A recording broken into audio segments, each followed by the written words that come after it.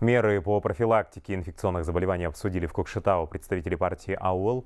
По словам заведующего отделением областной больницы Макшарипа Мартазанова, сейчас необходимо усилить эту работу. На конференции, прошедшей в режиме онлайн, доктор рассказал о способах защиты от простудных заболеваний и ковид. Самые простые – носить маску и э, вакцинироваться.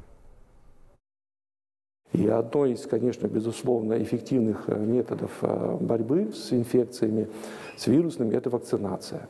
Ведь дело в том, что иммунитет э, после вакцинации возникает не быстро и не сразу. Да? В среднем он развивается в течение двух-четырех недель. Поэтому для того, чтобы предупредить инфекцию, вот сейчас в преддверии, можно сказать, вирусных инфекций, нужно делать заранее. Да? Вот сейчас как раз самый тот период.